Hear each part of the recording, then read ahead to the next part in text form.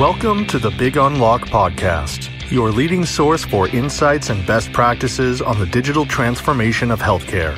Join host Paddy Padmanabhan, CEO of Damo Consulting and best-selling author of Healthcare Digital Transformation, how consumerism, technology, and pandemic are accelerating the future, in conversation with healthcare and technology leaders. This podcast is brought to you with the support of our partners, Innovaccer and Palbox.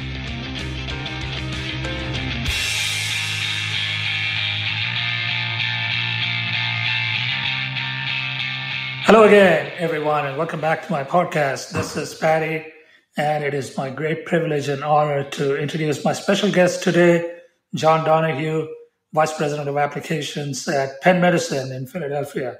John, great to see you. Thank you for setting aside the time, and welcome to the show.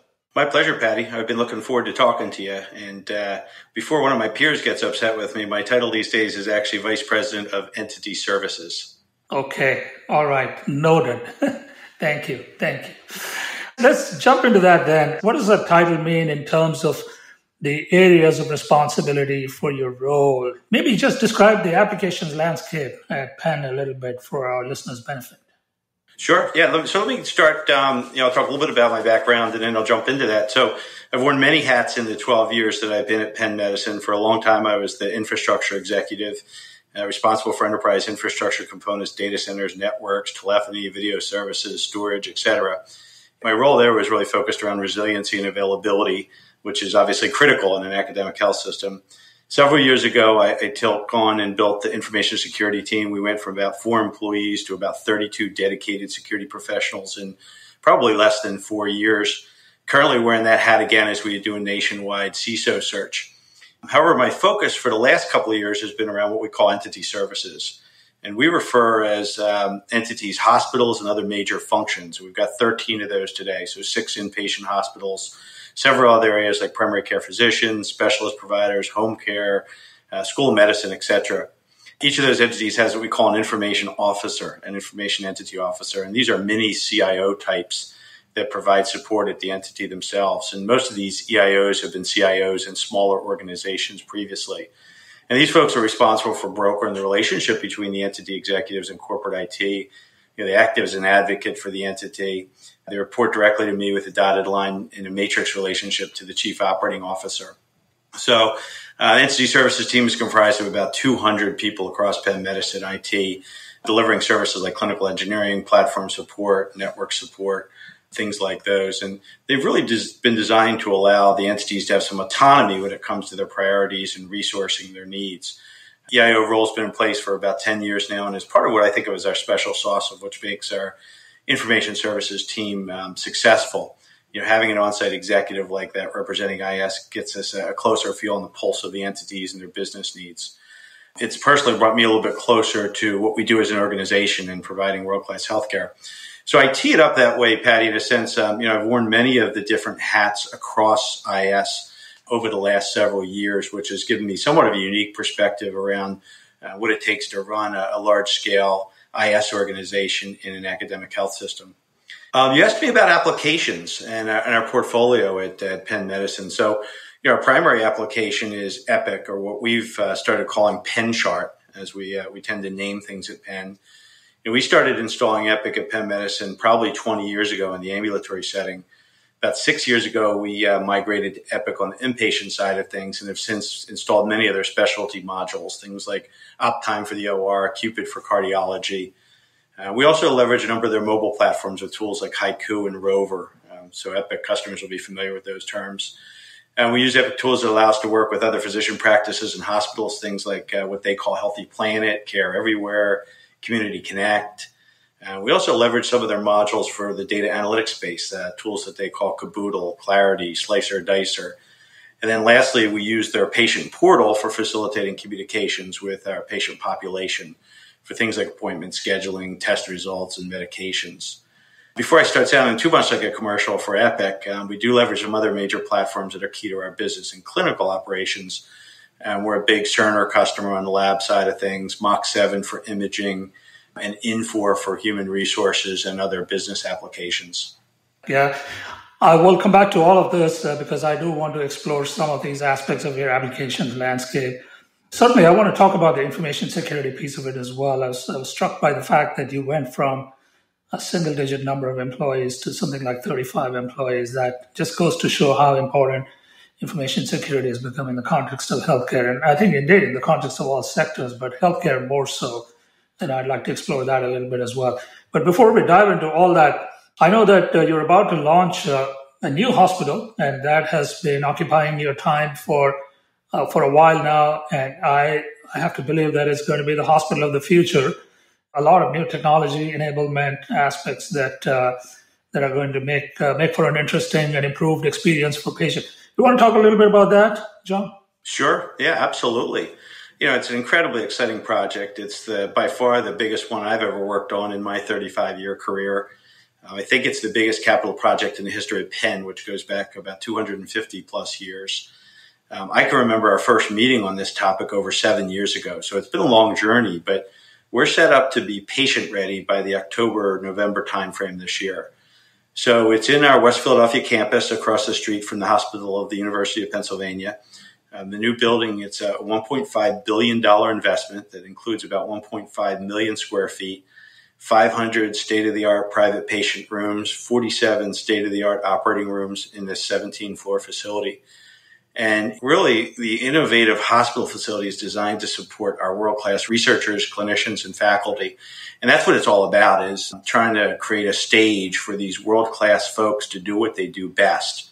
From an IT perspective, we really viewed this as an opportunity to significantly improve the way that both our patients and our providers engage with technology you know, much of our facility, particularly in West Philadelphia, has been old buildings. So this is a greenfield type of approach. Uh, we've designed the building to support a full digital experience with Wi-Fi and cellular coverage throughout the facility. Uh, we've developed what we call the patient footwall, which has really been around designing the integration of a number of different technologies that will make the patient stay more comfortable. And these same technologies are enabled so that providers can engage with the patients during their stay. So it's somewhat innovative for us. Some examples include um, being 5G ready day one, you know, aggregating nurse call and nursing alerts to a mobile app to reduce nursing fatigue. Um, at the center of this footwall is a 75 inch TV that's a uh, you know centerpiece for education and entertainment for the patient. You know, a tablet in the room that allows patients to manage the room, the temperature, the shades for lighting, noise levels, privacy uh, glass, potentially ordering you know dietary requirements full integration with our electronic health record. So the ability to present that on the technology that's in the room. Um, staff identification on the big screen TV. So as staff enters the room, the patients know who they are, what their role is, and potentially why they're there to um, to talk with or treat the patient. And all kinds of green, environmentally friendly components that um, you know will help us be um, responsible from an environmental perspective and also reduce some costs. So the common theme for us with this uh, pavilion and the campus itself is connectivity. You know, the need to have a patient care facility like this with advanced connectivity is fairly evident. But when you think about extending this connectivity beyond just IT and creating a seamless patient experience across the campus with transitions of care, now you're talking about some game changing improvements in patient yeah. engagement. Do you also use the, the wall, the 75 foot display that you talked about for conducting virtual visits and uh, family visits, uh, things like that? Absolutely. Yep. And with the COVID and the pandemic, things like that became much more important to us, being able to support those type of initiatives. So, yeah, absolutely built into our strategy. Right. Almost sounds like a high end luxury hotel room in some ways. Was that intentional or it just turned out that way? So it, it is, and we're careful to use the words like luxury because at the end of the day, we're there to take care of the patients and their, their needs and focus on that work. But the intent was to have a highly private facility for our patients that would be comfortable for them and their family members, but you know also make it a good experience and have the room outfitted in a way that you know it does feel like a, an improved patient experience and someplace where you know, again, our people can be comfortable while they're dealing with some of the aspects of their patient care. Our intent to provide a hospitality-like experience was uh, was evident early on. We talked to Disney and others about things like that, so that we could work them into our design. Yeah, I was going to ask. You know, you must have gone through some kind of uh, a design process to really design the experience carefully. The tech, you know, tech can do everything you want it to do, but developing this uh, unique and differentiated experience requires a whole different level of understanding of human needs, I guess, right? Oh, absolutely. We did some really slick things. Um, so we obviously brought in some subject matter experts from architecture and design from across the globe, literally across the globe. And then when we thought we had it right, we built out a half a floor in a warehouse out of styrofoam and brought in time and motion studies and, and made some significant changes to our original design based on actual people you know, wheeling gurneys through these uh, styrofoam hallways and, and looking at access and looking at traffic patterns and doing all kinds of timing exercises of how long it would take to get somebody from the ED to a, an OR and things like that. So to your point, um, as fun as the technology was, you know, that stuff typically, if you design it and implement it right, it's right. Getting it right from a design perspective is a whole other level. And, and I think we knocked it out of the park. How long did it take you to, to design the, the patient room of the future? Well, I would say from start to finish, probably three and a half to four years. And, wow. and that's, that's literally starting from scratch several times where we thought we could do it better. We found some pretty slick ways of a nurse sitting at a, a desk outside of the patient room. We've mirrored the patient room such that a nurse could actually monitor two patients at the same time through these windows. So we've done some really innovative things. The design of the you know the bathroom and the shower and, and how we brought those in as units and just leveraging you know the, the views of the city that we have. It was a pretty extensive design process. We've also designed flexibilities into the room such that the rooms could be used for many different purposes. So in the old days, you had um, you know sort of your normal patient care rooms, and then you had specialty rooms. These rooms are all designed with you know booms to move patients and capabilities that they can become more, um, you know, specialized on that on the change of a dime. Yeah. How many rooms do you have on, on the campus that are that are designed and set up this way? So there's five over 500 in this net new building. Okay. Awesome. Let's talk about uh, a couple of other things that I really want to try and uh, get into as a part of this conversation. Uh, the first thing that I want to talk about is when you designed this futuristic hospital, with a highly interconnected set of hardware, software, and services. Obviously, one of the foremost concerns in your mind has to be security. How do you ensure that you have network security, data security, uh, patient privacy, and so on? What additional considerations went into this when you were putting this, putting the design together? It's a great question. So, if you think about this patient room, many, many components in there are what I would think of as the, the Internet of Things. So whether it's the lights or the, the devices in the room that are more typical Internet of Things type devices, everything that sits on the network poses a potential concern. So we teamed up with a number of subject matter expert partners, I'll call them, we set up a lab environment and um, we implemented all this technology in a lab. And you know, if you walked into this lab, it would almost look like the patient room to you. You know, we rolled in beds, we rolled in the monitoring equipment and everything else such that it was really a good mirror of what would ha- actually be happening in the new pavilion itself. And then we set to making sure that we had the security that we were looking for in that room. And we, you know, did some exercises to try to um, tap into the network through some of these devices uh, we asked our vendors to work in their labs at their own manufacturing plants. So we have a high degree of confidence right now that with the technology that we've integrated, as well as some of the standard tools we've put in place to manage security across the enterprise, we're in pretty good shape. But as you know, talking to folks in this business, you need to be vigilant. The threat landscape changes dramatically over time. You talked about it earlier. You know, healthcare organizations have really become the focus of cyber attacks you know, over the last several years. And, and, if you see the notifications in the media, you can see the shift there. And that started with, you know, medical records being more valuable to criminals than credit cards and um, has only been exacerbated with organizations like ourselves that are in the center of COVID research and vaccine distribution. But it's really important to us, patient privacy and ensuring that, um, you know, we're a secure organization. So we've redoubled our efforts with this new facility to make sure that we're in good shape. Things like network segmentation, network access controls, building profiles of the way that these devices actually behave such that if they change their behavior, we have a chance to isolate them and pull them off the network, assuming for the moment that they could have been hacked or breached and could be a vulnerability. So we're working overtime to make sure that the, the new pavilion, as well as our the rest of our enterprise, is secure. This podcast is brought to you with the support of our partners, Innovaccer and Powbox. So let's talk about the other side of it, which is uh, now you have a ton of data that's going to be available to you just by observing the way these devices and the software and the services are used by patients or by caregivers and uh, how the devices interact with one another. I'm not just talking from a security standpoint, but just purely from the standpoint of improving the experience, improving care outcomes, intervening at the right times, and so on. Talk a little bit about how you've laid a data and analytics layer on top of this infrastructure that you've just described. Yeah, it's a great question as well. And, you know, so we started to make investments in our data analytics group probably the last two and a half, three years and have continued to make those investments. And now the exciting part for us is that to your point, we're going to have all this additional information and how do we turn that into knowledge? How do we turn that into stuff that or data that people can make inf- information and decisions upon? So we've matured our efforts on the data analytics side. We're still you know, I would say um, wrestling is not the right word, but we're still trying to identify the best way to use all this data because now we've got much more data than we ever had before.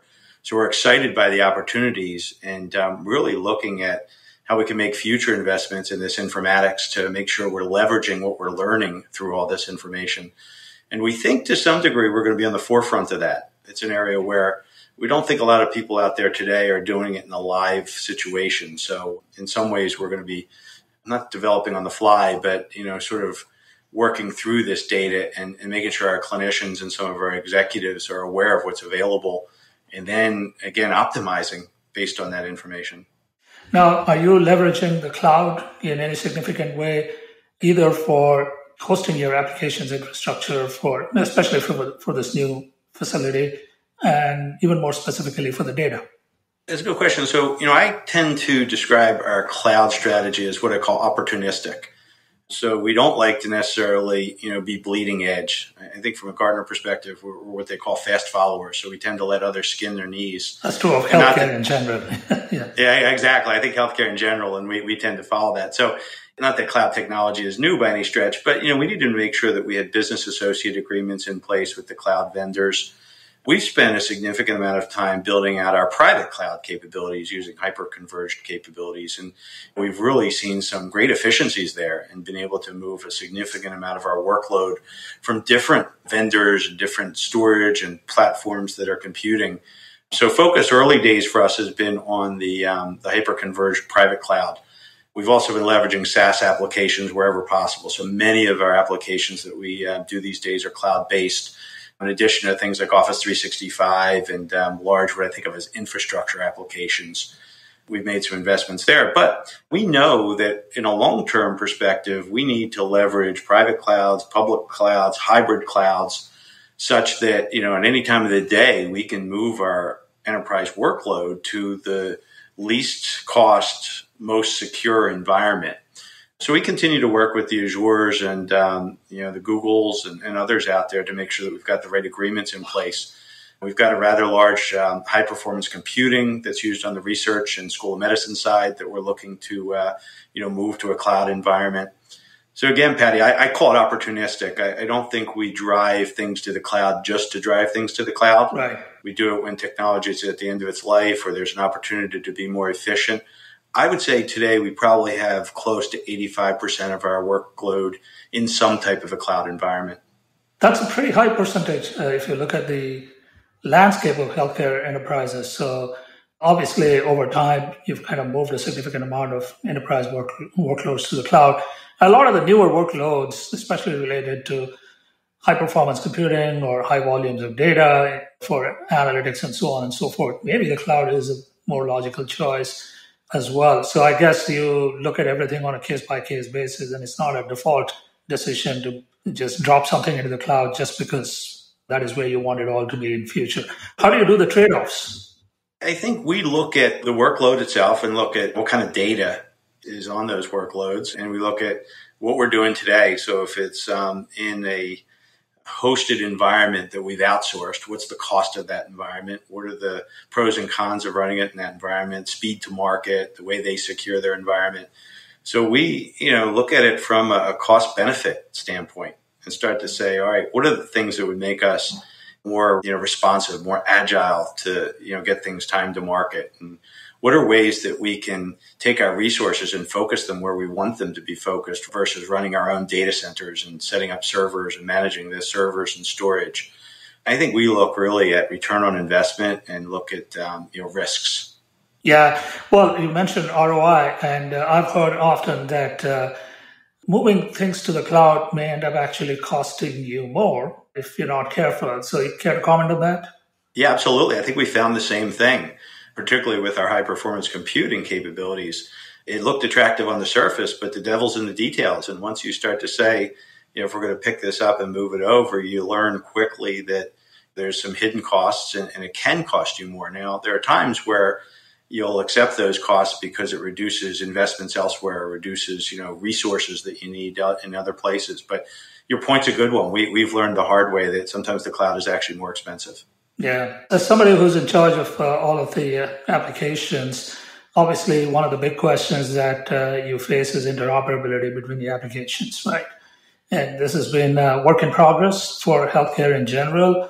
How would you describe the state of the union as it relates to interoperability across all of your applications in your landscape? Yeah, so it's interesting. We have taken what I'll call a 3C approach to applications. And you know, it's one of the mantras we use in IS, the three C's, and it's really been key to our success over time. And what that stands for is common systems, centrally managed and collaboratively implemented. So as such, we've spent the bulk of the last 10 years migrating many, many small applications into these large suites that I talked about earlier, like Epic, for example. So it's allowed us to be really efficient in terms of our spend and resources and allowed us to drive a lot of cost out of the system.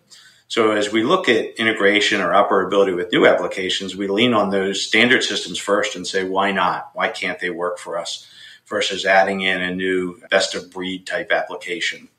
Secondly, the, the second C there is the centrally managed. So pulling everybody together into a corporate IT organization has allowed us to eliminate most of the shadow IT that exists in some organizations. And we find that those shadow IT resources are the ones that in many cases introduce new applications that are hard to integrate or hard to interoperate. So between those two things, we've been able to build a pretty effective corporate organization that is able to deliver these standard solutions, A, fairly quickly and B, economically. And then the last C I'll just mention real quick is probably our secret sauce, and, and that stands for collaboratively implemented. And you know, we've all been in organizations where there have been IT projects, and sometimes IT projects fail, and they point the finger at the CIO and say, "Look, it's you guys stink." we collaboratively implement, which means we really don't have IT projects. We have business projects that involve technology. And what that means is that both IT and the operational folks are at the table with skin in the game. And this has really delivered very good results for us because as things start to go wrong, we lean heavily on each other to make sure that we get good results. And, and that's worked. So that strategy has really helped us in terms of eliminating overhead, but also eliminating the need to integrate and interoperate platforms that may be a challenge. Yeah. So I'm not yeah. sure if that answers your question, but that's that's the way we've approached that. Yeah, it does. And I'd just like to ask you one follow up question on that because now uh, with digital transformation being a high priority area for all health systems, you find that a lot of the new innovative capabilities that you need to deliver a better experience or for improved outcomes or better collaboration among caregivers and so on, you may have to sometimes look beyond your core platform, such as your core EHR platform, to get the sort of innovation that you're looking for to drive the organization forward. So you have a little bit of a tension here, I guess. On the one hand, you're trying to consolidate all the applications into a few core platforms. But on the other hand, you also have to be open to the idea of bringing on new innovative solutions, which in many cases may be very young companies with a risk profile that that you're usually not used to. How do you manage this this tension, if you will? Yeah, that's a, it's a daily tension, I would add, and you're you're spot on with your comment there. You know, again, I'll, I'll talk about Gartner. Gartner uses a term called bimodal, and, and I interpret that to mean a dual mindset around IT. So on one hand, you have to you know, keep your network and clinical systems up and running 24 by 7. And that requires a certain strategy, mindset, and skill set. I think of that as making the trains hit the station every day. It's not an easy job, but getting them there on time takes yeah. some work and some focus. But at the same time, you have to have an innovative mindset to stay ahead and leverage these new capabilities. And that requires a whole different strategy, mindset, and skill sets. And leading teams that are responsible for both can be a challenge today. We feel like with innovation, you need to be prepared to recognize that every idea is not a great idea and failing fast if that's not going to be a winner. But you know, our environment, we're a learning organization. We see a lot of entrepreneurs on campus. They come out of Wharton, they come out of other schools that these guys are folks are incredibly bright. We have a, a place on campus that's called Pennovations, and it's a, a lab space. And their tagline is where ideas go to work. And this encourages people to come to Penn to do innovative work and to do emerging technology work. So we often see people knocking on our doors saying, Hey, we, we work for Penn or we graduated from Penn and now we're part of a startup. So we see a lot of these technologies. And, you know, I would say one out of every 10 to 12 I look at, we say, darn, this has got some real value here. A, it's addressing a pain point that we have. And, and B, it's something that we can't go to one of our established partners and say, we want this capability. So we're going to have to go an innovative way. So we've set up a new technology review board that looks at all these and, you know, uses a governance process to make sure that we're being fair and consistent. But your point is spot on. You know, not only do you need to, you know, keep your legacy applications up and running, but you need to stay focused on innovation where it can be a game changer for you as an organization. And we do that pretty well. Yeah. Well, by extension, what is the advice you have for startups anywhere across the country or even the globe that uh, have something interesting to say and, and, want an audience? What's your advice for them? I think there's two things. One is um, timing you know, I think you have to have strong technology that's almost ready for prime time. So many times people knock on our door and it's a concept. And we just don't have the cycles with everything else that we have going on to sort of work through the concept and spend those kind of cycles there. But if organizations have a, a, keen eye towards making sure they do a lot of development work, they've done some market studies, they maybe even have done some work in some other organizations, timing is key. It's got to be close to being ready. And then two is I think it's finding an internal sponsor, a champion, somebody that's willing to sort of be the representative internally around that technology and speak to its benefits. You know, we talked earlier about cost benefit. You know, we're looking for return on investment. We don't mind being a partner. We don't mind helping people design functionality and capabilities. And in fact, we've done that in a handful of situations. But I think it's picking the right time to bring it to our table, not too early, not too late, and it's also really finding the sponsor, the internal person that can champion that. Yeah, that's good advice. And uh, well, we're coming up to the end of our time here, so I, I, want to close this out by asking you: Is there a best practice or two that you would like to share with your peers in the industry who may be listening to this podcast? And I feel like what you described about this this new pavilion uh, is fascinating stuff maybe pick a best practice from there for someone who is embarking on a journey to make a billion dollar investment in a new hospital? Sure. So I think, you know, the, the best practice I would call out on the pavilion is to really engage with others. You know, sometimes you get this sense that you've got the smartest people working with you and around you and, and you try to solve problems. You know, what we learned with the pavilion was looking outward was a game changer for us. And, and I know that sounds simplistic, but we've brought to the table several technology partners. We've brought to the table several integration partners. And we've said, look, everybody's got a little bit of skin in the game here. We want you to partner with us. We want you to do some of the development on your own dime. We want you to, you know, jump when we say jump, but you know, at the end of the day, you're going to be part of something pretty special, and you're going to be able to talk about how you partnered with us. And again, I know that sounds simplistic, but getting the right spirit of partnership and getting the right ability to say, hey, wait a minute, let's pause and, and, give these guys some time to talk about what they want to do right. It's really, again, been a game changer for us. We have one integration partner in particular, and I won't name their name, but you know, they have just been spectacular to work with. They've done some lab work in their own environment. They've tested things for us, developed documentation, helped us figure out what it's going to take to support some of this stuff in the long run. They've um, very respectfully said, we think you've pushed the envelope too far. You need to back off a little bit. They've helped to bring others to the table. So again, I think the best practice for us was as, as big as we are and, you know, as talented as the people that we have, both on the IT side and clinically, it helped to partner with folks that had significant resources themselves. Yeah, that's great advice. I think uh, partnerships, when they work, they can perform miracles for you. And we've seen this again and again. Well, John, it's been such a fascinating conversation. Thank you so much for setting aside the time. And I look forward to following all your progress and maybe one day get to visit this new facility. I'd love to see all the cool stuff that you've implemented, maybe sometime soon. Paddy, it's been a pleasure, and uh, we'll give you the VIP tour when you uh, get to town. That's very kind of you. That's very kind of you. Thank you, John. Nice talking to you. Take care.